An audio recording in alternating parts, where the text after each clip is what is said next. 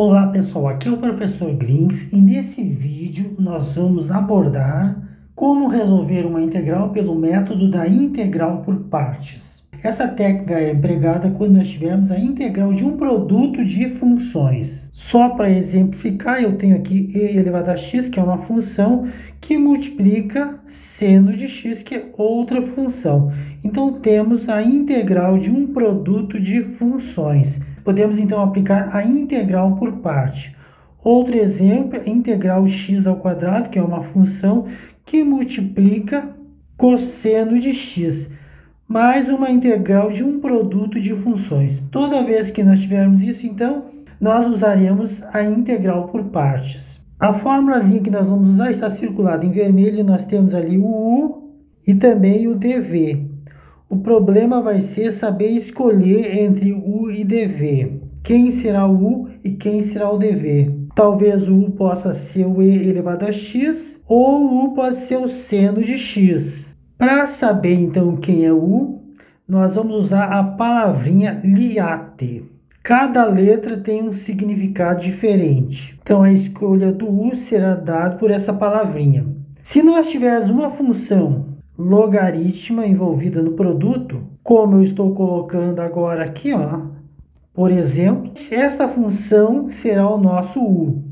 Pode acontecer de eu ter uma inversa trigonométrica ao invés do L, que vai ser um arco seno de x, é uma função inversa, arco cosseno de x. Se eu não tiver então logaritmo e tiver uma dessas funções, então essa função inversa trigonométrica é que vai ser o nosso U. A aritmética seria a função do tipo x elevado a 3, x elevado a quinta. Se eu não tiver função inversa trigonométrica nem logaritmo, essa poderá ser escolhida como u. O t de trigonométrica se eu tiver uma função tipo seno de x ou cosseno de x, tangente de x, então não tendo nenhuma das anteriores, essa é que será o nosso u. Finalmente, a exponencial será e elevado a x, e elevado a x mais 1. Esta, então, será u se não tiver nenhuma das anteriores.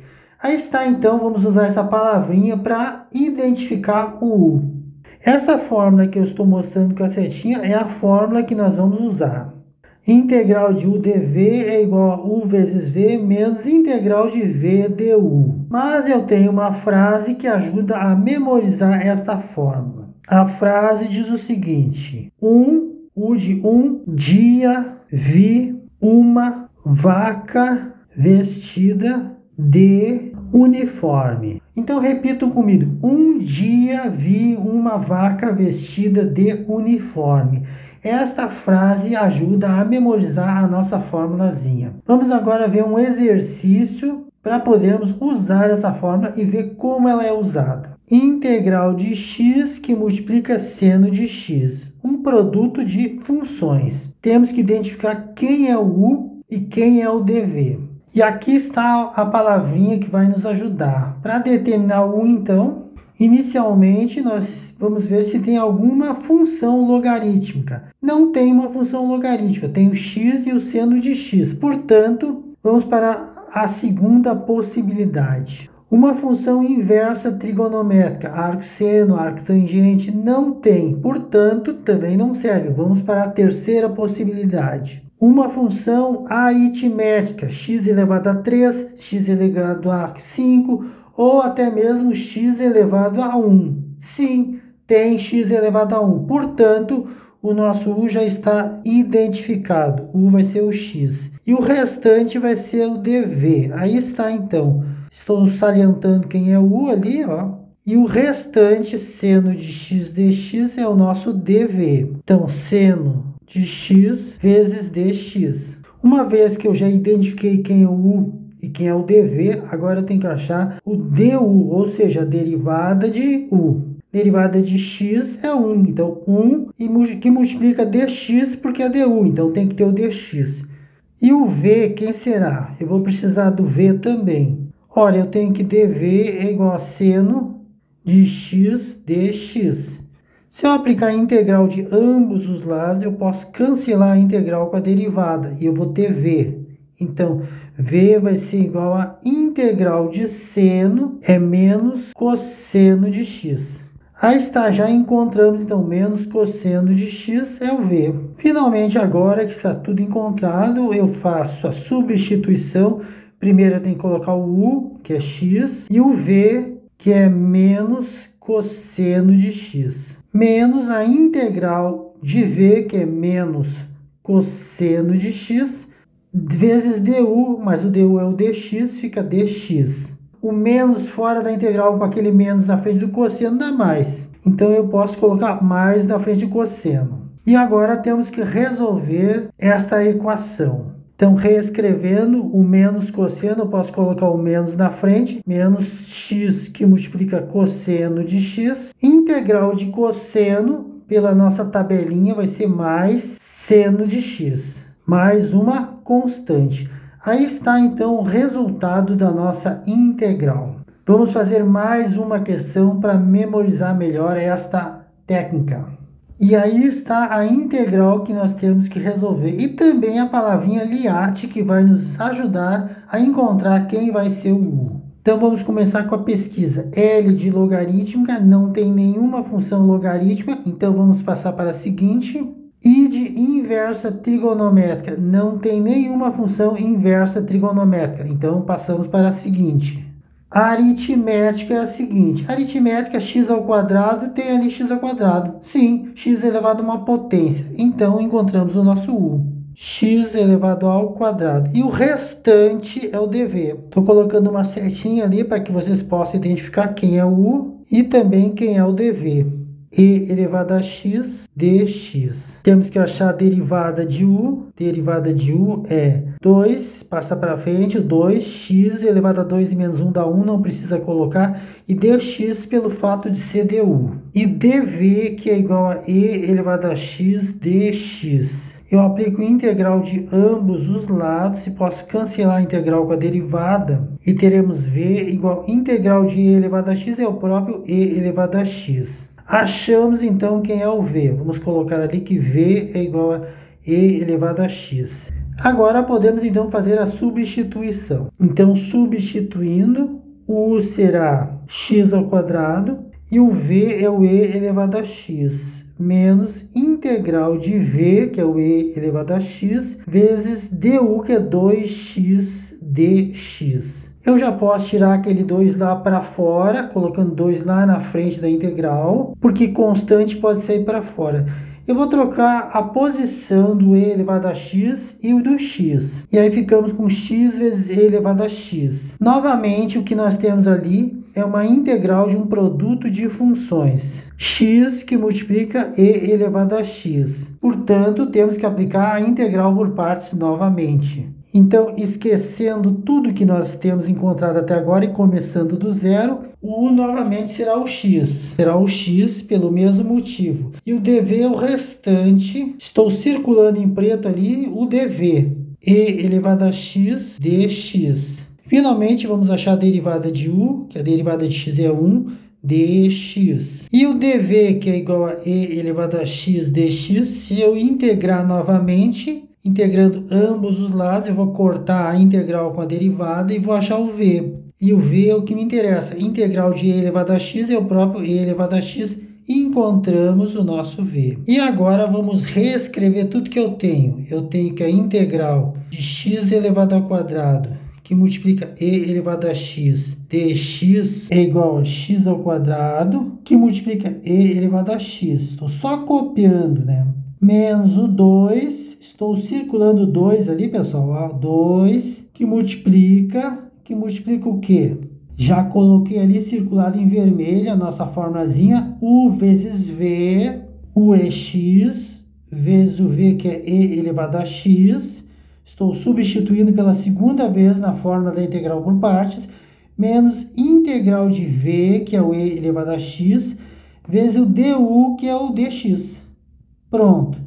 E agora, dando prosseguimento, então, eu copio a integral de x elevado ao quadrado, que multiplica e elevado a x dx. Isso vai ser igual a x elevado ao quadrado, que multiplica e elevado a x, menos 2x, que multiplica e elevado a x, mais 2 integral de e elevado a x dx.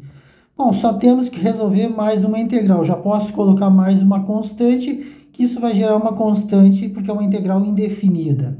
Integral de x ao quadrado que multiplica e elevado a x dx é igual a x elevado ao quadrado que multiplica e elevado a x menos 2x que multiplica e elevado a x mais integral de e elevado a x é e elevado a x, 2e elevado a x mais a constante. E aí está então o resultado da nossa integral.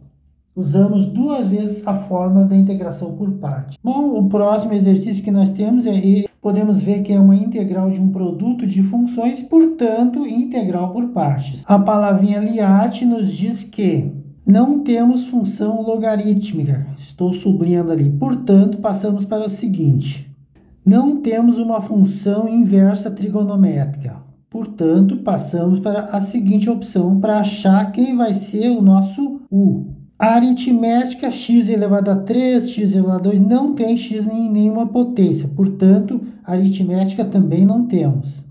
A próxima é a trigonométrica. Olha ali, temos uma trigonométrica, portanto, o nosso u será seno de x. Colocando que o é seno de x, e a derivada de V vai ser igual a o restante que sobrou, e elevado a x dx. E agora que já identificamos quem é o u e quem é o dv, a derivada de seno, que é o du, vai ser cosseno de x vezes dx, porque é du.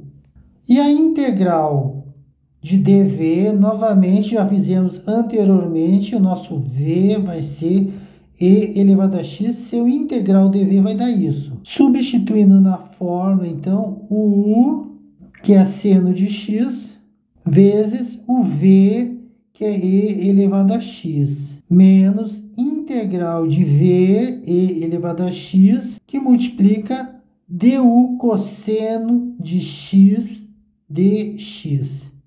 Perfeito! Vamos passar a limpo, então, para ver como fica integral de e elevado a x, seno de x dx igual a seno de x que multiplica e elevado a x, só copiei por enquanto, menos, e agora nós temos novamente um produto de funções. Temos que aplicar novamente a integração por partes. Então, vou apagar tudo que não me interessa, vou deixar apenas o e o dv, que é o que eu quero encontrar dessa vez. Estou fazendo um quadrado ali na integração por partes que eu tenho, um produto de funções. Usando aquela palavrinha chamada liat, não temos logarítmica, não temos inversa trigonométrica, não temos aritmética. O que nós temos é uma trigonométrica, que é a primeira que aparece. Portanto, encontramos nosso u, que é cosseno de x. Colocando lá no lugar certinho, né, u é cosseno de x. O dv é o restante, é o e elevado a x dx. E a derivada de u, derivada do cosseno, é menos seno de x, não se esquecendo do dx. E o v é a integral de dv, a integral de e elevado a x é o próprio e elevado a x. Finalmente, eu posso completar dentro daquele colchete que eu fiz ali em preto. Substituindo, então, quem será o? O U está ali, estou circulando em preto ali, ó é o cosseno de x, vezes o v, que é o e elevado a x, menos a integral de v e elevado a x, vezes menos, que é o du, né? Seno de x dx. Reproduzindo tudo que eu tenho, integral de e elevado a x, seno de x dx igual a seno de x, que multiplica e elevado a x, menos ali na frente do mais dá menos. Então, menos cosseno de x que multiplica e elevado a x. E agora um festival de sinais de menos. Vamos comentar detalhadamente cada uma das situações que eu tenho. Eu tenho ali o menos, que eu estou circulando, com outro menos vai dar mais. E esse mais que com aquele menos lá da frente vai dar menos. Então o resultado final é um sinal de menos. Então, colocando menos integral de elevado a x que multiplica seno de x e dx. Novamente, eu teria uma integral por parte, porque e elevado a x vezes seno é um produto de funções, mas tem uma saída aqui. Eu posso passar para o outro lado do sinal de igual esse e elevado a x vezes seno de x dx e juntar com aquele outro que está do outro lado. Eu tenho e elevado a x que multiplica seno de x dx mais, novamente, integral de e elevado a x seno de x dx. Tudo isso igual a seno de x, que multiplica e elevado a x, menos cosseno de x, que multiplica e elevado a x, mais a constante, porque a integral é indefinida. Integral mais a outra integral dá duas vezes a integral de e elevado a x, que multiplica seno de x dx. Colocando em evidência o e elevado a x, que é comum, eu ficarei com e elevado a x vezes seno de x menos cosseno de x, mais a constante. Aquele 2 que está multiplicando pode passar para o outro lado dividindo. Então, integral de e elevado a x, seno de x dx igual a e elevado a x sobre o 2, que passou dividindo, que multiplica seno de x menos cosseno de x. Mais uma constante sobre 2, mais constante sobre 2 é uma constante. Então não precisa colocar sobre 2. Pode colocar apenas mais uma constante. E aí está então o resultado da nossa integral. Mas antes de terminar o vídeo, eu vou deixar para vocês um desafio para vocês tentarem resolver. É uma integral por partes muito polêmica. Tente resolver e boa sorte na tentativa. Também vou deixar para vocês uma dica onde vocês podem encontrar tabelas de derivadas integrais. Digite omatemático.com na internet e vocês encontrarão. Então, com isso eu me despeço, agradecendo a presença de todos. Espero encontrar vocês no meu próximo vídeo. Então, até breve.